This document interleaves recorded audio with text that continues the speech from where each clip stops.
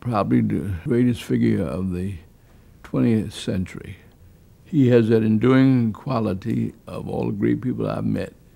He never took himself too seriously and has a keen sense of humor. On the last trip that I took to South Africa, I went to Robben Island and I stood in front of his cell number five. That experience transformed me.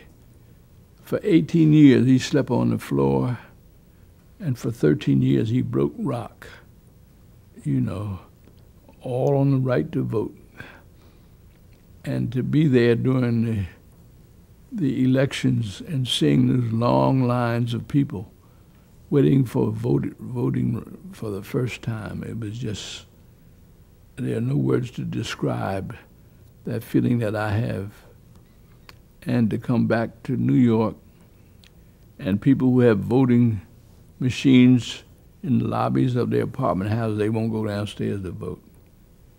This clip is brought to you by the National Visionary Leadership Project, a nonprofit organization whose mission is to inspire and unite generations by collecting and sharing the oral histories of extraordinary African American pioneers. To see more oral history videos, log on to www.visionaryproject.org.